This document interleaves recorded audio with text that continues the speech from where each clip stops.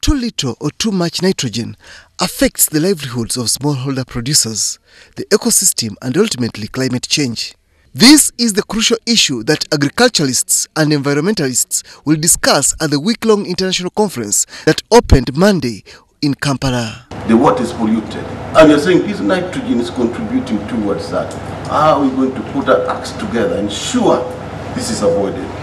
Then the second area is the aspects in reduction of nitrous oxide emission.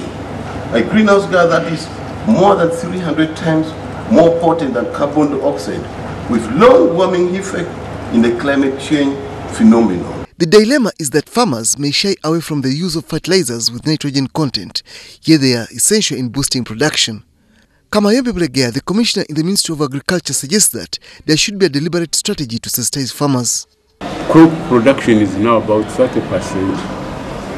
of what should be uh, because of low soil fertility levels. It's against this that the government is now taking deliberate actions to reverse the trend of declining soil fertility and promote the use of fertilizer. There's a common theme, and the common theme is whether you have too much nitrogen and you're losing and having pollution everywhere, or you have too little and you're not getting the benefits you need for the crops, crop yields, by finding ways to manage the nitrogen better reducing the losses to the environment, we are getting that double benefit. Research shows that the depletion of nitrogen from the soil does not only result in poor harvests, but is also the cause of water pollution, giving a chance to aquatic weeds like the water hyacinth to flourish, hence affecting fish production.